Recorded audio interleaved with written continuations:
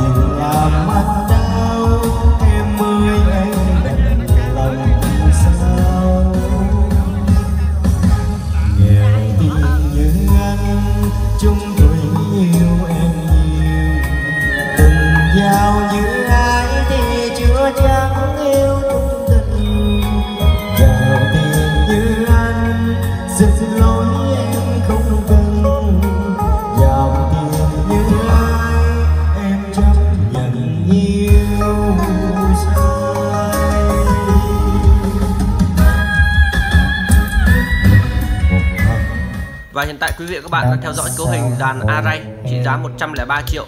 Bên công ty mình thì đang bàn giao cho anh khách hàng Sóc Trăng. Và bây giờ rất là tối rồi. Quay cũng không được rõ nữa thì uh, mong các bạn thông cảm. Thì uh, cấu hình này sử dụng 3 cặp loa Aray IT 40 đơn đồng bộ từ neo và một cặp xúc hầm đôi hỏa tiễn. À, còn dàn máy thì sử dụng một bán mixer Dynacon CMS 1000 một đầu chia nguồn IT A8 một bộ mic IT 680F một cốt số 260 một cục đẩy 4 kênh IT 8200 và một cục đẩy Cred Audio CA52 rồi và ngay sau đây thì bên công ty mình sẽ test cho quý vị các bạn à, cùng nghe cái chất âm của cái bộ dàn âm thanh này nhé Xin cảm ơn quý vị và các bạn đã theo dõi video của bên công ty mình